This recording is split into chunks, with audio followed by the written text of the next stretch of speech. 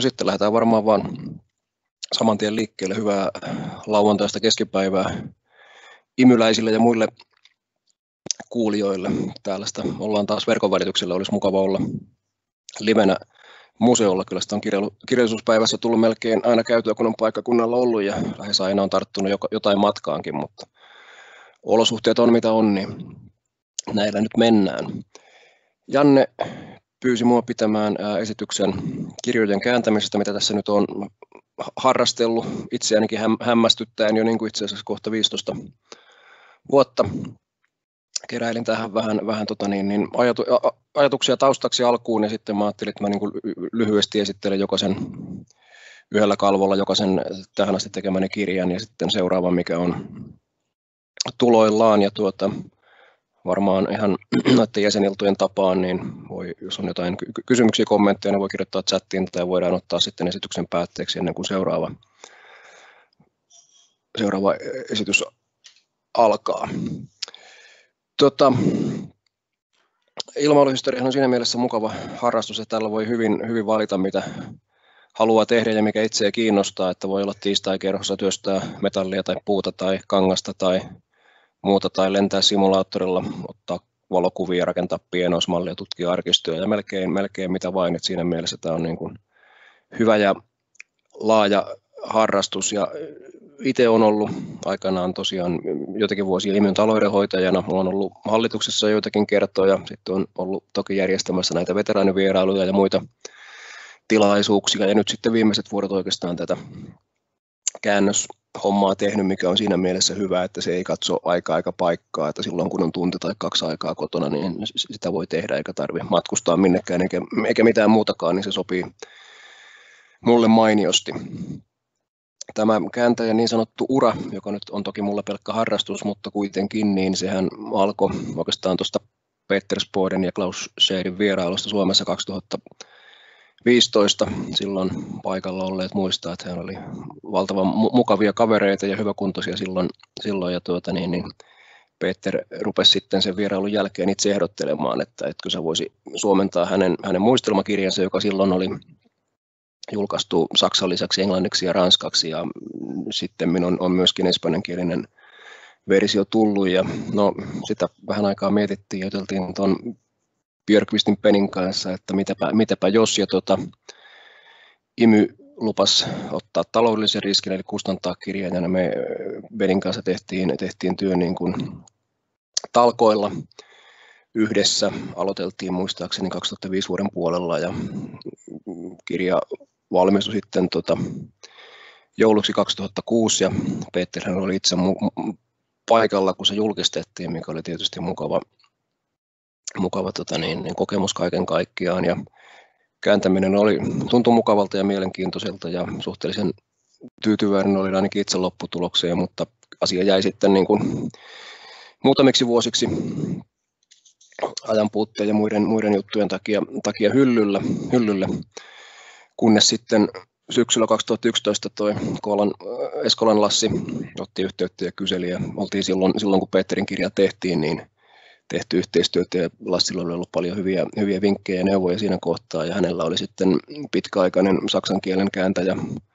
Monille kuulijoille varmaan hyvin tuttu Valtosen Hannu, Keski-Suomen museon pitkäaikainen johtaja, oli, oli lopettelemassa käännöshommia Koalalle ja Lassilla oli haussa sitten joku, joka voisi saksankielisiä kirjoja kääntää ja kysy, kysy minua. Ja mä sanoin, että no kokeillaan nyt sitten ainakin yhtä. Ja tuota, ensimmäinen muutama, siinä oli muutama kirja valittavana ja ensimmäiseksi valikoituu sitten tota Martin Drevesin, eli 50 pudotuksen yöhävittäjässä kirja Sandrun Foyer, ja Dreves itse oli silloin, silloin vielä elossa, ja tota niin, niin, siitä se sitten, sitten alkoi, mä olin sen verran ottanut opiksi tuosta Spodenin kirjan vaiheesta, että se, siinä oli, se oli ajallisesti aika pitkä, siinä taas oli pisimmillään varmaan mullakin niin kuin kuukausi taukoa ennen kuin taas sitten aloitti uudestaan ja totesin, että se ei ole hyvä tapa.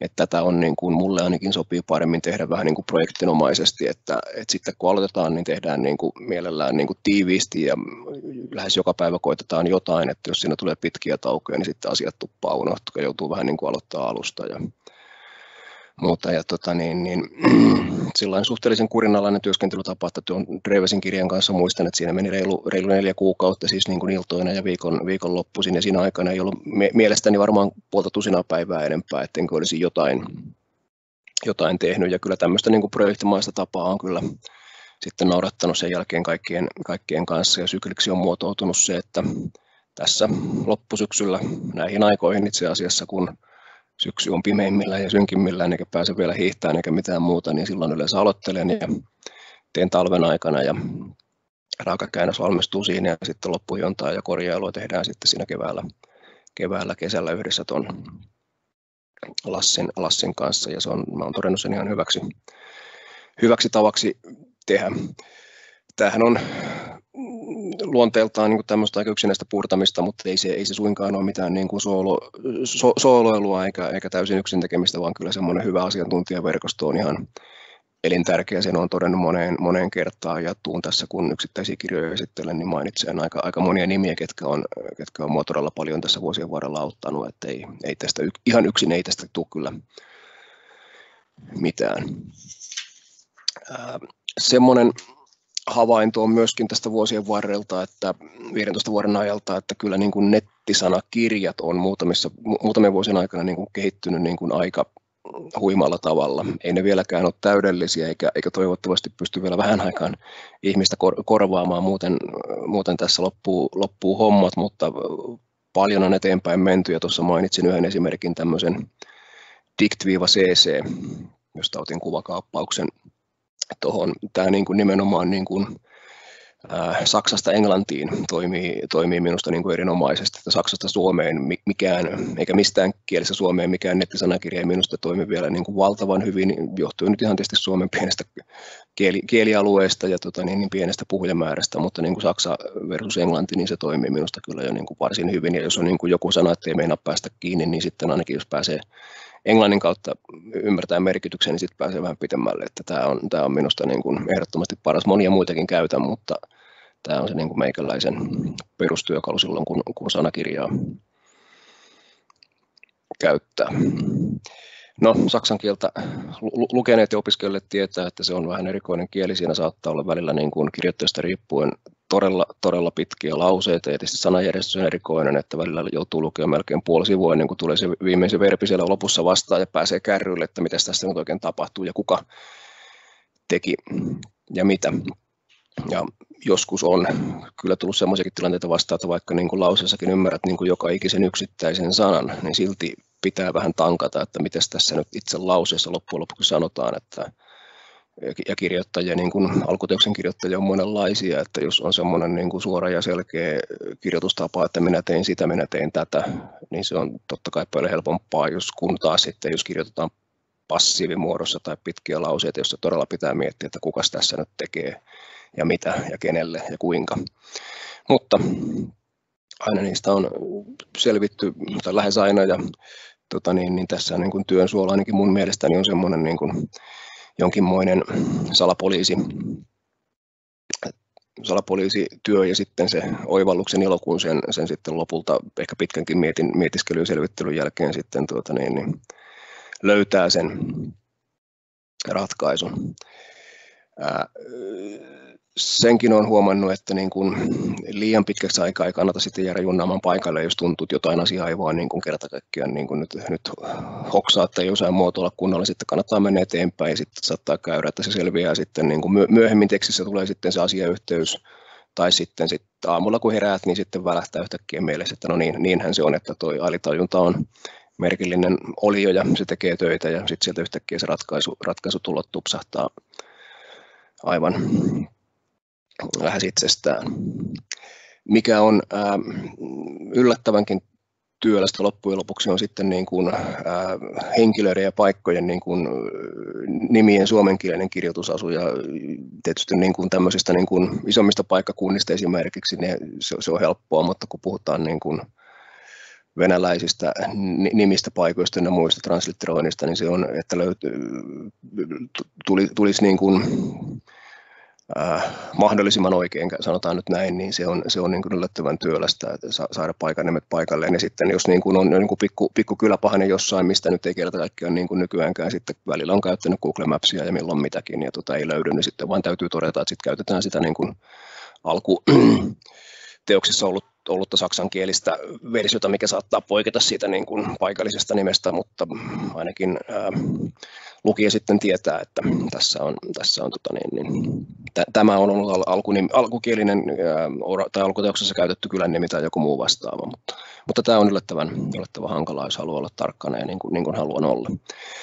Ää, ää, tiedän, että kääntäjillä on niin erilaisia tekniikoita, että pyritäänkö tekemään niin kuin se ensimmäinen raakakäännös niin kuin hyvin nopeasti ja jättämään se niin sanotusti hyvin, hyvin raaksi, vai pyritäänkö tekemään ensimmäisellä kertaa niin kuin mahdollisimman valmista tekstiä, mitä sitten tarvii enää vähemmän hioa myöhemmin. Ja olen kokeillut molempia tekniikoita ja olen todennut kyllä niin kuin itselleni ainakin paljon paremmin sopivaksi, että tehdään jo ensimmäisellä kiekalla niin kuin mahdollisimman valmista tekstiä jotta, jotta sitten se, kyllä sitä hiotaan vielä paljonkin välillä, mutta että se olisi kuitenkin jo niin kuin, mm, aika pitkällä siinä kohtaa, kun ensimmäinen, ensimmäinen kierros on tehty monesti kysytään, että kuinka paljon on, on opiskellut Saksaa ja kuinka monta vuotta ja tota, niin, niin mistä on sen oppinut ja muuta. Ja tuota, mä olen monesti sanonut, että niin kun, ainakin mun kokemus on se, että sitä käännettävää kieltä, niin kuin tässä mun tapauksessa nyt Saksaa pääosin, niin sitä pitää osata riittävän hyvin. Mutta ehkä vielä tärkeämpää on sitten se, että tuntee sen niin kuin itse aihepiirin ja osaa niin kuin suomea hyvin ja osaa sitten niin kuin tehdä sen alkukielelle uskollisesti, mutta kuitenkin sujuvaksi, sujuvaksi suomeksi, niin, kuin, niin se on ehkä vielä tärkeämpää kuin sen niin kuin lähtökielen täydellinen osaaminen tai, tai pitkät, pitkät yliopisto-opinnot sen, sen tiimolta, mitkä ei kyllä auta, jos ei aihepiiri ole, ole tuttu. Ja tästä tietysti päästään siihen niin kuin kääntäjän suurimpaan ongelmaan, että miten, miten olla niin kuin mahdollisimman uskollinen sillä alkutekstillä, mutta kuitenkin sitten kirjoittaa, kirjoittaa hyvää, hyvää suomea. Tuosta aiheen tuntemista voisin niin omalta kohdaltani sanoa, että itse olen ilmailuhistoriaa ja sotahistoriaa lukenut käytännössä siitä lähtien, kun olen lukemaan oppinut, eli noin 45 viiden vuoden ajan, että aihepiiri on sinänsä kyllä ollut niin kuin aina, aina itsellä lähellä sydäntä välillä aktiivisemmin ja välillä vähemmän aktiivisemmin, mutta joka tapauksessa on ollut pitkään, pitkään tota niin, niin asiasta kiinnostunut. En ole tosiaan ää, koskaan sinänsä, sinänsä opiskellut saksaa tai muitakaan kieliä muuten kuin sitten osana, osana muita opintoja yliopistossa, mutta tota niin, niin, ihan kohtalaisen hyvin on, on, on selvinnyt kuitenkin. Ja tuota, saksan kielen noista pitkistä lauseista jo mainitsinkin, niin sekin on oikeastaan semmoinen, että jotta saa, saa sujuvaa suomea, niin niitä on vain niin kuin uskallettua pilkkoa lyhyemmiksi, että jos niitä kääntäisi ihan niin kuin sellaisenaan, niin tulee, tulee kyllä niin kuin aivan valtavan pitkiä lauseita ja lauserakenteita, ja se ei vaan niin kuin suomen, suomen kielessä toimi. Ja sitten mulla on mun kirjoja lukeneeni tietää, että on tapana lisätä tämmöisiä niin kuin suomentajan huomautuksia alaviitteisiin. Olen koettanut pysyttäytyä niin kuin erittäin tiukasti niin kuin faktoissa, ei, ei mitään niin kuin omia mielipiteitä tai muuta vastaavaa, vaan sitten ihan tämmöisiä lisätietoja henkilöistä tai jostain paikoista tai tapahtumista tai jotain tämmöisiä niin kuin erikoisten sanontojen niin kuin taustaselityksiä semmoisissa tapauksissa, kun on niitä itse pystynyt löytämään tai, tai muuta vastaavaa, mutta hyvin, hyvin tiukasti kuitenkin faktoissa pitäytyen. Itse on päivätöissä ollut, ollut aina rahoitusalalla ja ei tämä ole mitään muuta, eikä tarkoituskaan olla mitään muuta kuin harrastusta sitten, kun jossain vaiheessa toivottavasti joskus kun eläköityy, niin tuota, sitten katsotaan, että millaisena tahti jatkuu, mutta kyllä ajatuksena on sinänsä kyllä, kyllä jatkaa niin pitkään kuin kiinnostusta on. Tällä hetkellä näitä kirjoja on valmiina 11 kappaletta, 10 on, on äh, saksankielisestä alkuteoksesta, yksi on sitten englanninkielisestä. Viimeisin, joka käsitteli nyt taas vaihteeksi panssarisotaa, Alfred Ruppelin Tiikerin leitarintamalla tuli, tuli painosta tuossa syyskuussa ja tota, seuraavaa pitäisi aloitella, mutta palataan, palataan siihen kohta. Aika usein toistuva kysymys työkavereilta ja muilta tutuilta on sitten, että no kuinka kauan aiot tätä jatkaa. Ja se semmoinen ensimmäinen jo kauan sitten antamani vähän niin kuin huumorimielessä annettu vastaus oli se, että hyvin tunnettu kirjailija, sotakamreeri Reino Lehväslaiho teki 45 kirjaa, joten kyllä minulla on ajatuksena, että pistää hiukan paremmaksi näiden käännösten kanssa. Ja tuota, niin, niin tässä kun nyt näitä vuosia on itsellä kulunut ja kirjoja on tullut, niin ehkä se vastaus on muuttunut hiukan vakavammaksikin, että tuota, jos kirja, tahtinen on ollut kirja vuodessa nyt jo pitempään ja jos Reinon meinaisi lyödä nyt puhu, puhu Myllymään Reinosta, vaan Lehväslaajosta, niin tätä numero 46 valmistuu, kun on itse 86, että onhan se ihan mahdollista, jos kirja per vuositahtia jatkaa, mutta toki nyt myönnän heti kärkeen, että on eri se kääntää kirja, kun kirjoittaa niitä niin kuin Reinot sekä Lehväslaiho että Myllymäki tekevät, mutta tuota, kyllä tämmöinen nyt niin kuin vähintäänkin leikkimielinen tavoite on tuolla Lehväslaiho Reinon lyömisessä, mutta katsotaan. Tota, on pakko sanoa, että tämän niin kuin harrastuksen ei pelkästään niin kuin tämän kääntämisen, vaan ylipäätään tämän niin kuin ilmailusta historiaharrastuksen kautta, niin kyllähän tässä on, niin kuin, on päästy tapaamaan niin kuin ihmisiä ja päässyt paikkoihin, joista niin kuin pikkupoikana luki, luki vain kirjoista ja siinä mielessä niin kuin moni unelma ja haave on, on toteutunut ja on päässyt, päässyt tosiaan niin kuin näkemään kavereita, joista luki, luki vain, vain joskus kirjoista eikä voinut kuvitellakaan, että heitä joskus tapaisi. Ja, monet harrastukset tai lähes kaikkihan niin kuin vie sekä aikaa että rahaa, mutta tämä nyt vie vain aikaa ja nykyään jopa tästä saa pikkusen niin kuin rahallistakin korvausta, eli tilanne ei ole ollenkaan niin kuin huono, huono siinä mielessä. Harrastus on muuttunut tämmöiseksi niin kuin vähintäänkin puolivakavaksi sivutoimiseksi hommaksi ja sellaisena sen aion, aion pitää. Mielellään kuulen aina kun mahdollista niin palautetta töistä, aina voi parantaa, aina voi tehdä vähän toisin, hioa lopputulosta, vähän niin kuin kaikenlaiset artistit, kyllä kääntäjäkin myöskin niin, kuin, niin sanotusti elää palautteista ja toivoo sitä saavansa ja kuulevansa. Se auttaa kyllä kehittymään. Sitten ehkä viimeisenä pullettina täällä tämmöinen niin kuin havainto, joka on ainakin mulle tullut vähän yllätyksenä tässä vuosien varrella, että näistä niin kuin omistakin käännöskirjoista niin, niin kuin muutamia on ollut myöskin englanninkielisenä versiona ja on kyllä ollut yllättävä havaita, että miten heikkotasoisia niin kuin aika monet englanninkieliset käännökset on. Että tota, ehkä se niin kuin iso kielialue siinä vaikuttaa, että kääntäjät luottaa, että ei niitä kukaan koskaan sitten vertaa niin kuin Saksa versus englantia ja muuta, mutta kyllä on tullut monta tapausta vasta, että kääntäjä on, niin kuin, on lisäillyt ihan niin kuin omiaan, on, on niin sanotusti ohjattu mutkia oikein kunnolla, on muuteltu niin kuin tekstijärjestystä, on käännetty termejä niin kuin ihan täysin väärin, näkee selvästi, että ei ole ymmärtänyt, mistä on ollut kysymys, tai sitten niitä on käännetty niin kuin tämmöiseen brittien, amerikkalaisten paremmin ymmärtämään muotoon. Ja niin kuin, no se on ihan ok, jos siitä sitten niin kääntäjä mainitsee niin tai jossain, mutta kun yleensä siitä ei myöskään mainita mitään. Ja tuota, mun, mun mielestä kyllä tässä on niin kuin aika pahanlaatuinen niin kuin, niin kuin ammattietiikan loukkaus, jos tota, niin, niin, alkutekstiä muutellaan ja öö, käsitellään ilman, että siitä mainitaan, mainitaan mitään, että tämä on kääntäjän tekosia. Että en, en, en voi kyllä ymmärtää, mutta useamman kerran on tähän kyllä törmännyt, se on, se on pakko sanoa. Ihan tällaisessa, en nyt lähde nimiä mainitsemaan, mutta ihan niin kuin, ne ei, ei ole selvästi kaverit mitään amatöörejä, että tuota, on niin kuin useampia käännöksiä tehnyt sotahistorian alta ja muuta, mutta silti hämmästyttävän heikkoja, ainakin omasta, omasta mielestäni. No, tässä tulee sitten enemmän tätä kuvaosastoa, nappasin tähän muutamia kuvia näistä tuota, niin, niin, kääntämieni kirjojen päähenkilöistä. Niin mainittakoon se, että tosiaan kaikki, kaikki tähän asti kääntämäni kirjat on, on joko niin kuin henkilön itse tekemiä muistelmia tai sitten jonkun muun tekemiä elämäkertoja. Että mä olen siihen, siihen genreen jotenkin tykästynyt ja olen ajatellut siinä, siinä pysyä siinä tuota niin, niin ekalla, ekana vasemmassa kuvassa on jo mainittu Peter Sporin unkarilaisen tyttöystävänsä kanssa. Sitten on Martin Treves, Erich Varsits Porsaan kanssa. Saksalaisilla on tämmöinen erikoinen tapa, kun tapahtuu jotain suurta ja merkittävää, niin annetaan, ei nyt ehkä enää, mutta silloin annettiin tämmöinen onnen porsas Glückswein. Ja siinä on tota, ensimmäisenä sekä suihku että rakettikoneella lentänyt on Porsaan kanssa kuvassa. Sitten siinä on Wolfgang Wollenweber, museologin käynyt veteraani. Sitten löytyy Günther Scholz, Lapissa palvelurykmentin komentaja panssarimies Otto Karius, Herman Graaf ja Alfred Krislavski. Tuosta Graafistahan puhuin tässä taannoin yhdessä jäsenillassa vähän tarkemmin.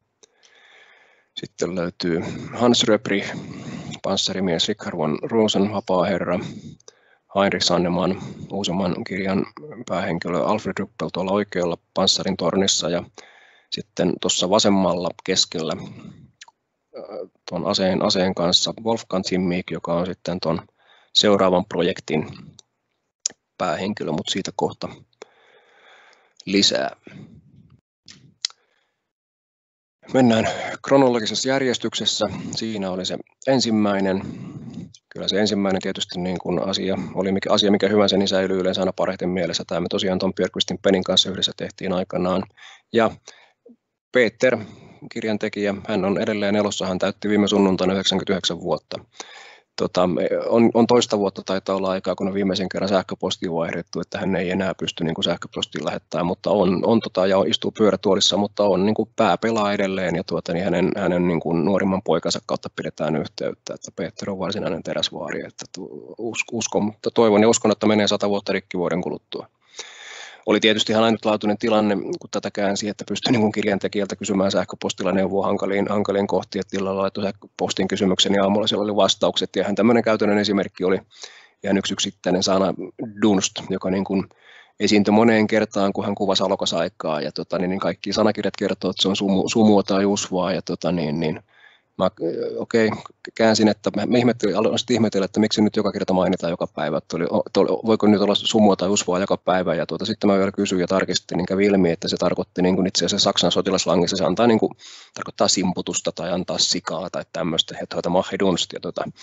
sitten se selvisi, mutta ei välttämättä mikään silloinen nettisanakirja ei, eikä paperisanakirja vihjannutkaan, että se voisi olla mitään muuta kuin sumua tai usvoa, mutta onneksi selvisi. Tästähän on tehty tuota kaikkiaan kolme painosta. En tiedä itse asiassa enää, tuota, että onko, onko imyllä vielä jossain varastohyllyllä yhtään jäljellä, mutta niistä 2009 taittiin ottaa se viimeinen kolmas painos, kun Peter kävi täällä viimeisen kerran. Kaava oli sitten tosiaan tuo Martin Drevesin hiekka ja tulta Dreivesistäkin puhuin, puhuin keväällä yhdessä jäsenillassa vähän tarkemmin. Tämä oli tosiaan ensimmäinen, minkä tein Koalalle vuonna 2012 ja silloin Dreves, joka oli tuossa 40-luvun äh, lopulla muuttanut Brasiliaan, oli silloin vielä elossa ja hän, sain häneen jopa yhteydenkin. Hän, hän soitti mulle ihan yllättäen yhtenä kauniina talviiltana ja oli tarkoitus, kun hän oli tulossa Eurooppaan seuraavan kerran tuonne Ritariristin saajien tapa, tapaamiseen Saksaan ja muuta, että hän olisi tullut myöskin Suomeen ja vierailla museolla, mutta tuota, hän sitten valitettavasti vähän ennen sitä matkaa menehtyi, että tapaa, tapaamatta jäi, mutta oli, oli tuota, niin, niin, niiden kontaktien perusteella todella hieno, hieno mies ja mukava kaveri. Jälleen Peter auttoi tosi paljon tässä työssä ja Jalovaaran Osmolle myöskin silloin kiitokset, että Osmo, Osmo ottoi kyllä myöskin varsinkin tavallaan ihan niin kuin lentämiseen ja lentoliikkeisiin ja muuhun liittyvässä terminologiassa tosi, tosi paljon kyllä. Kolmas kirja kertoo. Ensimmäinen tosiaan tämmöisestä niin kuin aika, aika, vähän tunnetusta, mutta niin kuin ilmailuhistoriassa kyllä niin kuin todella tärkeästä hahmosta. Eri Varsitsista, joka lensi ensimmäisenä vuonna 1939 sekä raketti- että suihkukoneella, mutta siinä sitten sota syttyi, syttyi samoihin aikoihin. Tietysti oli huippu, huippusalaisia asioita, niin ne jäi, jäi vähän sitten ehkä niin kuin jalkoihin, eikä niitä hän ole koskaan saanut varmaan semmoista niin kuin, mainetta ja asemaa, kun, kun saavutusten perusteella kuuluisi tässä oli niin kuin nyt olin tehnyt tuon Reevesin kirjan, oli, oli into päällä ja tota, tämä kirja oli suhteellisen lyhyt, niin se tuli myöskin vuonna 2012 ja tämähän perustui Eerihin pojan Lutsin tota, isästään tekemiin haastatteluihin silloin, kun tämä oli vielä elossa. Ja, ja tota, tästä voisin erityispiirtein sanoa, että siinä oli todella vaikeaa teknistä sanastoa, jossa, jossa niin kuin ei edes Peter pystynyt aina, aina auttamaan. Toi Lutz onneksi sitten auttoi ja eri, eri lähteistä hakemalla ja googlaamalla ja tutkimalla sitten loppujen lopuksi löytyi, löytyi mutta tuota, huomasin, että tämmöinen niin kuin moottori, raketti, suihkumoottoriteknologian sanasto on aika vaikeaa, ja kun en ole itse ei ole alan koulutusta, niin siinä oli, oli tekemistä, ja niin kuin varmaan hyvin voitte kuvitella, niin tämän, tämän genren lukijoiden niin kuin oma, oma osaaminen on varsin korkealla, että tässä kyllä ei viitti, viitti ihan niin kuin tehdä sinne päin, koska siitä tulee sitten välitöntä palautetta, jos termistö, termistö ei ole oikein, mutta tässäkin nyt mielestäni ihan, ihan sitten loppujen lopuksi ihan hyvin, hyvin saatiin, saatiin tota niin, niin oikea, oikeat ää, tiedot kasaan. Numero nelonen oli sitten Wolfgang Wollenweberin kirja, julkaistiin Suomessa 2013. Tässäkin oli huomasta maailman pienuuden. Siihen oli esipuheen kirjoittanut hänen entinen lentojen päällikkönsä Karl Fritz Lostein, joka oli imyvieraana vuonna 2011. Molemmat palveli siis Lapissa aluksi ja myöhemmin Wollenweber lensi tuolla hankkeella 162 huihkukoneella ja oli, oli jo silloin vuonna 2013 niin kuin tietojen mukaan viimeinen elossa ollut sillä koneella lentänyt ja sikäli kun tiedän, en ole muuta kuullut, en ole nyt ollut ihan lähiaikoina yhteydessä, mutta Wollenweberkin on, on mielestäni edelleen elossa ja hän oli täällä myöskin itse paikalla silloin, kun kirja julkistettiin joulukuussa 2013. Tuossa oikeassa yläkulmassa on siitä kuva. Siinä on vasemmalta allekirjoittanut, sitten on Lehtisen Viljo, Kivio ja Nolli, Pilveveikkojen pitkäaikainen puheenjohtaja ja sitten Jalovaaran Osmo siinä lippujen ja imyn julisteen edessä ja Osmo tässäkin auttoi ja samaten myöskin sitten tämän niin kuin kirjan alkuteoksen saksalainen toimittaja Horst Kupe, joka oli myöskin tota, niin, niin matkalla mukana silloin täällä. Sitten jatkettiin noilla Lapin, Lapissa lentäneillä Ingmöbyksen kirjoittama elämäkerta Scholzista julkaistiin 2014. No, tässäkin maailma osoittautui pieneksi. Esipuheen oli kirjoittanut Scholzin entinen laivuokaveri Hans-Ekke Pop, joka sitten taas oli imyvieraana vuonna 2009 yhdessä Peter Sporen ja Walter Schukin kanssa. Scholz oli jo niin kuin sodan aikana tota lentäjien ehkä vähän vanhempaa kaartia, syntynyt vuonna 11, oli mukana jo Espanjan sisällissodassa ja oli sitten myöhemmin tosiaan Lapissa ton siellä toimineen hävittäjärykmentti J.G. Vitosen komentajana ja kun tätä kirjaa käänsin, hän oli, hän oli elossa, hän oli 103-vuotias ja siinä vaihdettiin muutama kirje. Hän nyt ei enää sähköpostia käyttänyt, mutta kirjoitettiin muutama kirje hänen kanssaan, todella mukavia ja kohteleita kirjeitä, missä hän, hän joka muisteli Suomen aikojaan. Valitettavasti ihan pari viikkoa ennen kuin tämä tota, suomalainen versio tuli painosta, niin hän sitten menehtyi ja tuolle Ingolle, joka kirjoittaa, on kirjoittanut aika paljonkin aihepiiristä, sotahistoria, ilmailuhistoriaa, niin täytyy lausua suuret kiitokset. Hän oli kyllä erittäin avulias myöskin, kun tätä, tätä käännöstä tehtiin. Sitten vaihdettiin tuota panssarisotaan. Kipinä tuli oikeastaan siitä, olin, olin tuolla, taisin olla toista kertaa jo tuolla tuota Virossa, Narvassa ja Sinimäillä kesällä 2014 ja siinähän kuvataan, kuvataan ei niitä varsinaisia Sinimäkien taisteluita kesällä 44, vaan keväällä samoilla alueilla käytyjä taisteluita kuvataan hyvinkin tarkkaan tuossa Karjuksen kirjassa ja sieltä kun sieltä tuota niin, niin Sinimäen kukkulalta näkötornista kun katsoi maisemaa, niin siinäkin muistui taas tämä kirja mieleen ja tuota, se oli, olin englanninkielisenä sen lukenut. Tilasin sitten syksyllä 2014 saksankielisen version. Karjus oli silloin vielä elossa.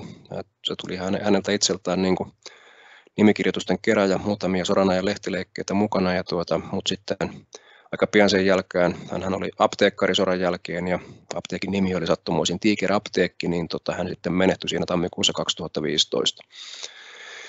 Tästä täytyy sanoa, että tämä on ollut ehkä niin kuin kaikkein hankalin kirja käännettäväksi. Että tota, niin, niin, taisi tulla ensimmäinen saksankielinen versio vuonna 60 ja kaikesta päätellen vaikuttaa siltä, että Karjuksella ei ollut minkäänlaista kustannustoimittajaa tai oikolukijaa siinä, ja se kyllä näkyi kieliasussa, että se oli, tämä oli hankala. Tämä oli tota, niin, niin sillä lailla niin kuin, semmoista niin kuin monipolvisella, pitkälauseisella saksalla kirjoitettu. Tässä oli, tässä oli työ, työmaata aika paljon. No, onneksi mulla oli erittäin hy- hyvä ja pätevä myöskin asian, asiantuntija porukka tässä apuna, Kuuselan Kari, toimittaja muun muassa Suomen sotilaslehdessä ja tehnyt itse kirjoja panssarivaunusta muun muassa. Ää, nykyinen puolustusvoimien tiedustelupäällikkö, prikaatikenraali Pekka Toveri, entinen panssariprikaatin komentaja, oli, oli hyvin avulias niin kuin termistön kanssa ja sitten myöskin tuo Karjuksen silloinen yhtiökumppari, tämän Tiger Apteekin omistaja Helmut Göttil auttoi, auttoi myöskin niin kuin parhaansa mukaan, että tässä oli kyllä hyvä porukka, mutta se oli kyllä tarpeenkin, niin kuin sanottu, tämä oli, tämä oli hankala tapaus. Sitten oli poikkeus, poikkeuspolulta, jos näin sanotaan, oli ensimmäinen tähän mennessä ainoa englanninkielinen alkuteos, minkä tein ruotsalaisen Christer Bergströmin. Tämä ilmestyi englanniksi alun perin, tuota, niin taisi olla 2003. Ja sitten Krister teki sen myöhemmin niin korjailu- ja parannellun painoksen, jota ei sinänsä niin kuin ei, ei ole, u, uutta englanninkielistä painosta ei otettu, mutta hän oli parannellusta niin käsikirjoitusta ja sen pohjalta tein, tein sitten käännöksen ja totesin, totesin, että englanti on kyllä niin kuin ainakin mulle niin kuin huomattavasti nopeampaa käännettävää, että kyllä siinä vähintään 50 prosenttia nopeammin sujuu kuin, kuin Saksa. Ja tässä tosiaan tämmöinen hauskasti ympyrä sulkeutui, koska mä tuon Kristerin tunnen, tunnen tuolta 90-luvun lopulta saakka. Hän on kirjoittanut varmaan yli 30 erilaista niin sote kirjaa ja tekee sitä niin kuin ihan päätöinään nykyään. Ja tuota, tosiaan tunnen hänet pitkältä ajalta. Ja lu, olin oikolukijana sille englanninkieliselle versiolle 20-luvun alussa tälle kirjalle ja nyt sitten pääsin sen kääntämään itse suomeksi. Ja tämä on pisin merkkimääräisesti, kun kääntäjän työtä lasketaan, niin tämä on pisin, pisin mitä on tähän mennessä, mennessä tehnyt. Ja tässä sitten erityisesti noiden niin kuin Neuvostoliiton niin kuin, ää, ilmavoimien organisaation yksiköiden, sotilasarvojen ja muiden kanssa, niin meille varmaan kaikille tuttu Keustin Kalle auttoi paljon ja hänelle, hänelle siitä vielä nytkin jälki, jälkikäteis kiitokset suuresta, suuresta avusta sen suhteen. Seuraavaksi palattiin Lappiin tuonne J.G. Vitoseen. Tämä oli Hans Johan Röllin tekemä kirja Hans Döbrihistä, 60, reilun 60 ilmavuoten SSstä. Tämä oli, tämä oli aika lailla, no lainausmerkissä mikään ei ole varmaan helppo, mutta tämä oli niin kuin verrattuna moneen muuhun, tämä oli suhteellisen helppo ja selkeä käännettävä. Tässä oli taas niin kuin semmoista täsmällistä tarkkaa kerrontaa, ei ollut mitään valtavan pitkiä ma- maalailuja eikä pitkiä lauseita, niin tämä oli, tämä oli aika, aika sel, selkeä tapaus ja Rölitse oli kyllä suureksi avuksi tässäkin käännöstyössä, että Döbrich itsehän on kuollut jo tuota, niin hetkinen 70 vaikka 80-luvulla nyt en muista, mutta kauan kauan kauan sitten. Sitten palattiin vuonna 18 palattiin panssarisodan maailmaan vapaa-herra Richard von Ruusen oli kirjoittanut kirjan. Tämä on ihan muutaman vuoden vanha tämä kirja, kirja itsessään, ja tuota, niin, niin jos mä ajattelen niin kuin ihan niin kuin alkuteoksia kirjoina, niin Martin Reevesin kirja sitten tämä minusta on, on, on niin kuin ne parhaat noin niin kuin kirjana. En, en tarkoita tässä siis omaa käännöstä, niin sitä en, en arv, lähde arvioimaan, mutta niin kuin alkuteoksena niin kuin mielenkiintoisimmat ja parhaiten kirjoitetut kirjat, ja tästä näki, että entinen aatelismies oli, oli niin tottunut kirjoittamaan, että oli hyvin selkeästi kirjoitettu. Ja tota, tästä kirjasta itse on saanut ehkä niin kuin kaikkein eniten, eniten ja parasta palautetta, ja muistelen tuon Koala Lassin sanon, että hän on myöskin saanut tästä niin kuin Koalalle ihan, ihan hyvää palautetta, että on tähän kyllä tyytyväinen, jos nyt pitäisi niin kuin itseltään joku tämmöinen pääteos mainita, niin ehkä se tämä on. Että tähän, tähän on kyllä tyytyväinen ja jälleen kerran tässä toi Kuuselan Kari oli kyllä erittäin suureksi avuksi, että hänellä on aivan älyttömän hyvä tietämys niin kuin panssarivaunuihin liittyvästä teknisestä sanastosta ja tietämys ylipäätään myöskin niin saksalaisesta panssarivaunusta, että on, on todella asiantuntija alallaan. Viime vuonna tuli sitten elämänkerta vähän vähemmän tunnetusta S-stä Heinrich Sanneman. Tämä oli vähän erilainen kirja, tämä perustuu ihan puhtaasti tuohon tuota hänen ja sitten tyttöystävän ja myöhemmän, myöhemmän vaimon niin sodan aikaisen kirjeenvaihtoon, niin sitten siellä välissä oli tämmöisiä niin kuin näiden ää, varsinaisten kirjoittajien tekemiä, tekemiä ikään kuin tämmöisiä niin kuin fakta, faktaosuuksia aina välillä. Annettiin vähän taustaa tapahtumille, mutta tuota, kun, oli, kun tähän ryhdyin, niin mä kuvittelin, että tämä oli suhteellisen selkeä käännettävä, mutta erehdyin kyllä aika lailla, että tuota, ja jälkikäteen ajattelen ihan, ihan selvää, että kun kahden ihmisen niin kuin kirjeenvaihtoa rupeaa kääntämään, se on niin puhekielistä, se on hyvin epämuodollista, että ehkä vertailukohtana voisi hakea, että jos joku, joku silloin ei ollut somea, mutta tämmöinen kirjeenvaihto oli sen ajan somea, että jos joku niin kuin muutaman kymmenen vuoden kuluttua alkaisi niin kuin nykyisten nuorten niin kuin somekeskusteluja kääntämään vieraille kielellä, niin voi olla, että olisi aika vaikeaa, koska tuota, siinä nyt kun kaksi läheistä ihmistä niin kuin kirjoittelee toisilleen, niin siinä on varmasti semmoisia niin piilomerkityksiä ja sanoja käytetään niin kuin ihan jossain, jossain toisessa tarkoituksessa kuin, kuin tota niin, niin yleisesti. Ja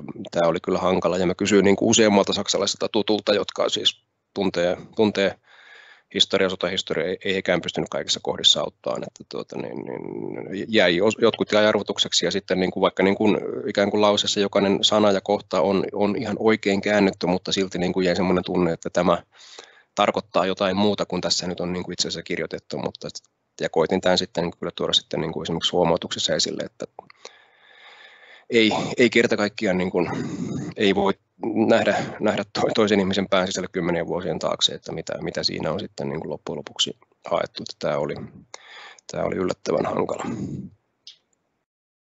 Viimeisin ja tuorein on sitten tämä kolmas panssarivaunukirja. Tämä on tietyllä tapaa tuon Von Rusenin panssariässän sisarteus. Nämä kaverit palveli samassa raskaassa panssaripataljoonassa. Ei ole, kovin, ei ole samoja kuvia, mutta niin kuin samoissa tilanteissa otettuja kuvia. Molemmat niin kuin mainitsevat toisensa muutamaan otteeseen näissä kirjoissa. Tämä on alkuteos julkaistu vuonna 2012 ja tämä Ruppel kuoli seuraavana vuonna 91-vuotiaana, eli niin kuin varsin korkealla iällä teki, teki muistelmateoksensa ja kyllä se näkyy semmoisilla niin pikkuvirheen epäjohdonmukaisuuksena tuossa kirjassa, mutta ei mitenkään, mitenkään pahasti, että jos itse, itse pystyisi tuollaista tekstiä tuottamaan 90-vuotiaana, niin kiitollinen saa olla. Se oli joka tapauksessa hyvin, hyvin ja selkeästi kirjoitettu, joten se oli suhteellisen helppo sitten, sitten kuitenkin kääntää ja jälleen kerran tuo Kuusalan Kari oli tässä kyllä niin kuin isoksi avuksi. Seuraava projekti on taas sitten tota, vähän ehkä jonkinlainen alue, aluevaltaus itselleni. Ensimmäinen tota, niin, niin, ruotsinkielinen kirja, Natten Siekare. Tämä on tarkoitus tulla saada ensi vuonna ulos. Tässä ruotsalainen tota, niin, niin Max Timmik, tuommoinen alle 40 ruotsalainen juristi kirjoittanut isoisästään Wolfgang Timmikistä, joka oli 24 ilmavoiton yöhävittäjässä. Hän on tuossa kuvassa keskellä oleva kaveri. Oikealla puolella on Werner Streip, yksi Saksan yöhävittäjäaseen niin näitä alkupään suuria nimiä, tärkeä kehittäjä, 64 ilmavoittoa, ja sitten vasemmalla puolella on NJK yöhävittärykmentti ykkösen kolmas laivueen komentaja Walter Eele, tässä on kirja jo kauhean pitkä, se on ihan mielenkiintoinen ja siinä on niin kuin erittäin hyvä ja harvinainen kuvitus, koska se on periaatteessa kokonaan tuolta Timmikin perhealbumista, eli siellä on kuvia, mitä ei, niin kuin, mitä ei, niin kuin yle, ei ole vielä muualla näkynyt ja yleensä kirjoissa tuppaa toistumaan niin kuin samat, samat kuvat, mutta tässä on kyllä aika paljon, aika paljon uutta. Projekti on hyvässä vaiheessa, eli se on ihan aloittamista vaille valmis, mutta tuota, niin, niin tässä nyt lähiviikkoina on tarkoitus niin sanotusti kastaa, kastaa sulkakynä musteeseen ja ryhtyä tekemään, että olisi sitten ensi keväänä kesällä, kesällä valmista. Tämä on muuten tämän, mainitsin äsken tuon Krister Päriströmin, tämä on hänen, hänen omistamansa pienkustantamon tekemä kirja, että siinäkin mielessä on taas niin tuttuja kavereita taustalla. Palautteesta mainitsin, nappasin tänne tuota, niin, niin muutamia palautteita, mitä on tässä matkan, matkan varrella saanut ja mitä suuresti arvostan. Sampo Ahto arvioi tuon Otto Karjuksen kirjan vuonna 2016 sotilasaikakauslehdessä. Tässä on niin kuin toinen, kaksivuisen arvion toinen osa. Lopussa hän kehuu, kehuu suomennosta ja itse arvostan Sampo Ahtoa erittäin korkealle sotahistorioitsijana, niin tämä on niin kuin todella mukava kiitos.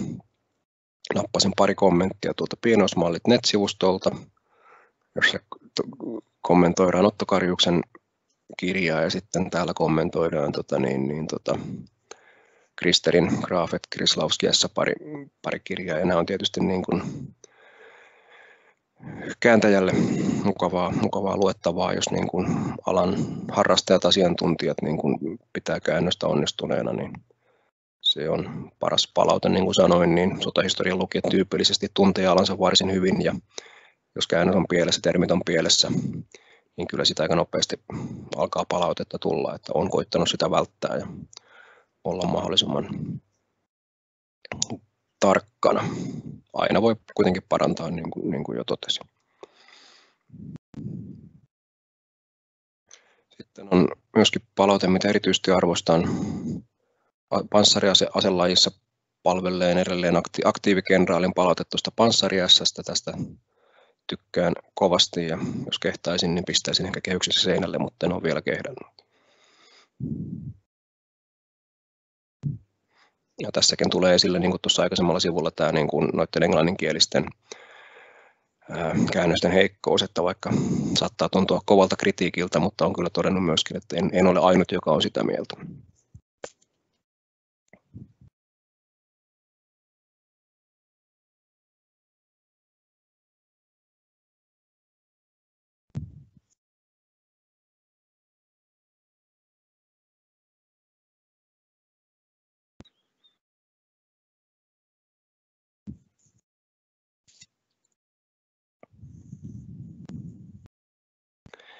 Ja ehkä yksi syy siihen, miksi on, on pitäytynyt näissä niin muistelmissa ja elämäkerroissa on se, että kun, kun itse alkoi sotahistoriasta ja toista maailmasta kiinnostua, niin totta kai niin kuin ainakin mulla oli, oli ensin oli kiinnostus niin kuin lentokoneissa ja aseissa ja maalauksissa ja merkinnöissä ja muissa, mutta niin kuin pikkuhiljaa se niin kuin oma kiinnostus on mennyt enemmän ja enemmän tavallaan niin kuin henkilöihin ja ehkä semmoiseen niin kuin psykologiaan ja miksi, miksi, miksi sodassa toimitaan kuten toimitaan ja miksi, miksi joku tietyssä tilanteessa joku murtuu, joku toinen kestää, miksi toinen porukka, yksikkö, laivu ja komppania, mikä on menestyy loistavasti, toinen, toinen murenee, ei kestä painetta ja muuta ja nämä on minusta niin kuin erittäin mielenkiintoisia ja koko ajan enemmän ja enemmän sama mielenkiinto menee tänne ehkä jopa niin kuin sodankäynnin psykologian puolelle. Että ja täälläkin todetaan tästä tavallaan, niin kuin, että mikä sai saksalaisen sotilaan niin kuin, jatkamaan loppuun asti, että ei se nyt enää ollut, että oltaisiin oltu niin kuin, valtavan innokkaita Adolfin puolesta kuolemaan, mutta kyllä siinä on semmoinen niin kuin, tavallaan kuin toveruus ja ei haluta pettää kavereita ja halutaan puolustaa siviiliväestöä ja muuta, vaikka tilanne oli jo niin kuin sodan, sodan loppukuukausina aivan selvää, että miten tulee käymään. Nämä on minusta mielenkiintoisia asioita ja kysymyksiä. Siinä esityksen viimeinen slaidi. Palataan ehkä sinne lähtöpisteeseen. Siinä on allekirjoittanut Peter Spoinen ja Ben. Ollaan joulukuussa 2016 museolla. Siinä on tuore Petterin kirja Petterillä kourassa. En osannut silloin arvata, että tähän kohtaan päädytään. Tuosta se silloin lähti ja katsotaan mihin asti, mihin asti käännöshommissa mennään. Mutta tämä oli nyt tämmöinen väliaikakatsaus 14 vuoden jälkeen. Kiitoksia mielenkiinnosta.